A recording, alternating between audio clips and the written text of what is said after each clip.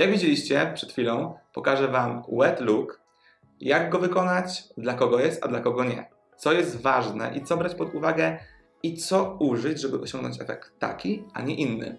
A się już znacie z mojego poprzedniego filmu, który wyświetli Wam się tutaj, więc oczywiście lajki, lajki i zapraszam do oglądania. Moi drodzy, do wykonania tej stylizacji potrzebujecie wodę, piankę do włosów, lakier do włosów i olejek do włosów. Dla niektórych, jeśli macie bardzo ciężkie i śliskie włosy, potrzebować będziecie albo przyda się Wam puder do włosów. I w zasadzie to wszystko. Żeby wykonać taki wet look, potrzebujecie włosy i człowieka, czyli pewnie siebie. Najlepiej jak na początek włosy umyjecie i potem lekko osuszycie, ale jeśli śpieszycie się albo macie na przykład włosy umyte i nie ma na nich żadnych produktów typu lakier i inne jakieś takie wiecie, bajery, to włosy po prostu możecie sobie psikać wodą. No i psikamy!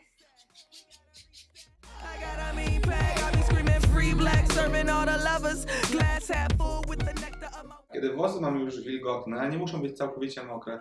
Ważne jest to, żeby po prostu były wilgotne, od nasady po same końce. Bierzemy piankę.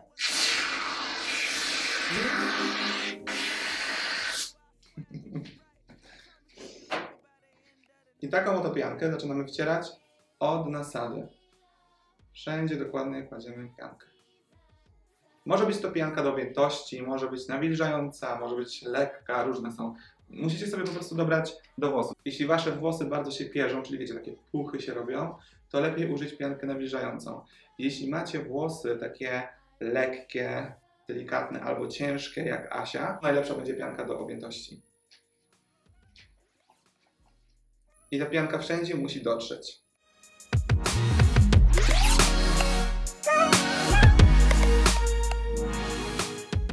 Kiedy nałożycie już piankę na całe włosy, to bierzecie olejek albo na przykład tak jak ja, krem do włosów, taki wygładzający. Lepszy będzie olejek, ale akurat ja tutaj użyję sobie taki produkt, bo chcę go po prostu przetestować, ale może być olejek nawilżający, w zasadzie wszystkie są nawilżające, albo wygładzający. Bierzecie ten olejek na ręce,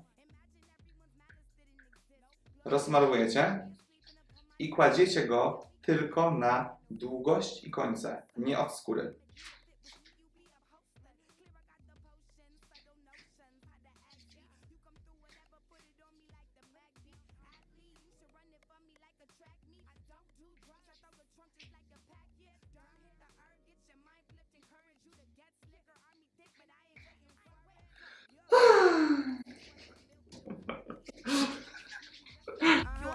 Anytime you trying to put me down, I have them reduced. You a picture work waiting to figure I'm the easel.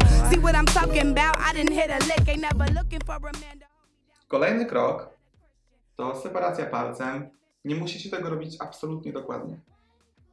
Bierzecie pasmo włosów. Nie za grube, nie za chude. Troszkę rozczesujecie w palcach i skręcacie. Pamiętajcie, żeby starać się skręcać te włosy, każde pasmo w różną stronę. Na przykład raz w prawo, raz w lewo, żeby nie było tak, że wszystkie włosy są w tą samą stronę skręcone.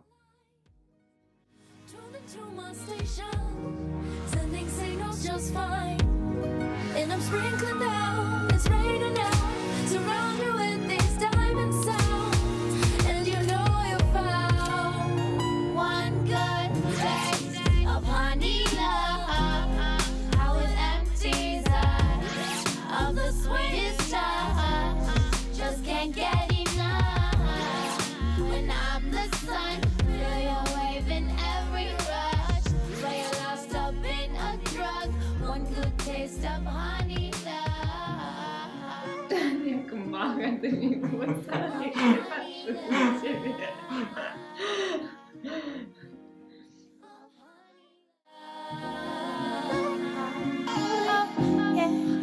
honey love, honey love, honey love.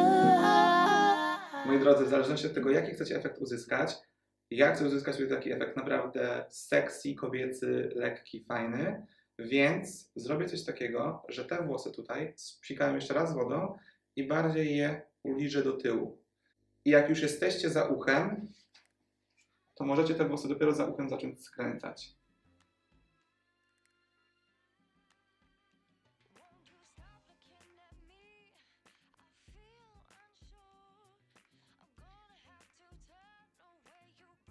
Następna rzecz, która Wam się przyda, to suszarka z dyfuzorem. Bez niej też dacie radę, ale lepiej jak ją macie. Jeśli jej nie macie, to włosy powinniście suszyć.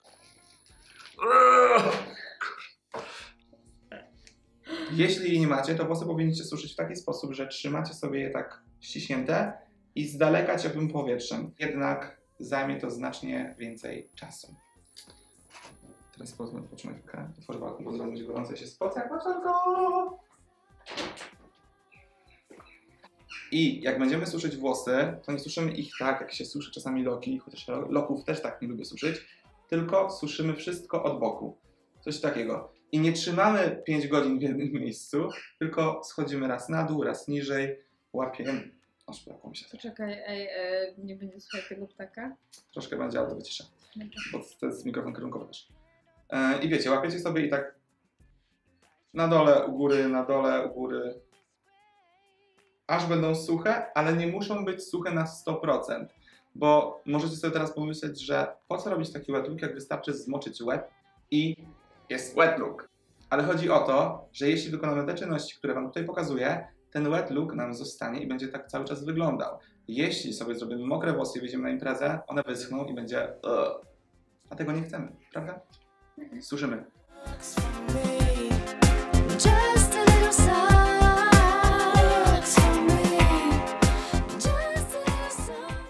Jeśli zdarzy Wam się, że e, włosy się za bardzo wysuszyły, wiem jak to brzmi dziwnie, ale wiecie o co chodzi. Do tego luku nie mają być za bardzo wysuszone. Ale jeśli za bardzo Wam się wysuszą, pijanka w rękę i dokładacie w miejsca, gdzie jest za sucho.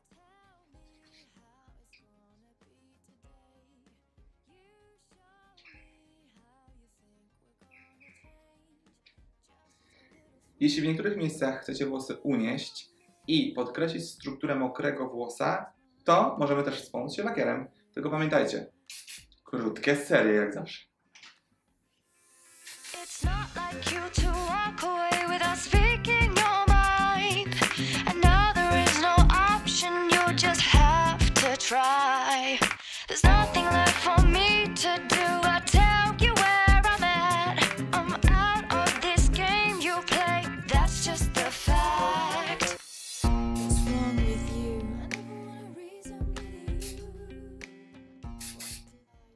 Ciarosy, żeby efekt był jeszcze lepszy, żeby look był dopełniony, musimy zrobić to. You.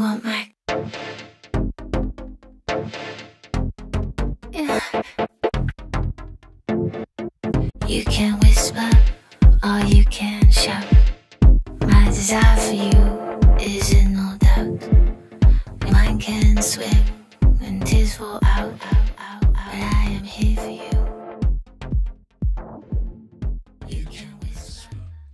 Moi drodzy, jeśli macie na przykład włosy, które się bardzo puszą, to użyjcie nawilżających rzeczy, nawilżających szamponów, pijanek i olejków, wtedy ten efekt będzie lepszy.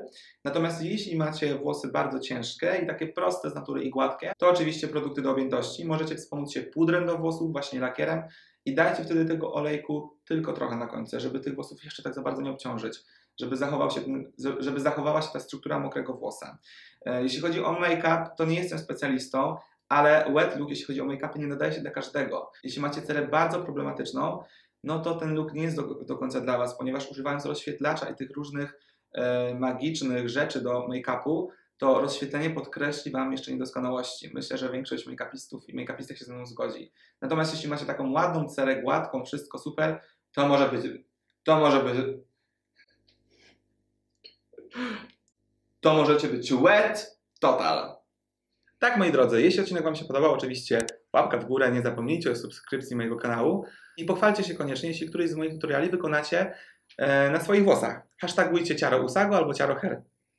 A my widzimy się w kolejnym odcinku. Cześć!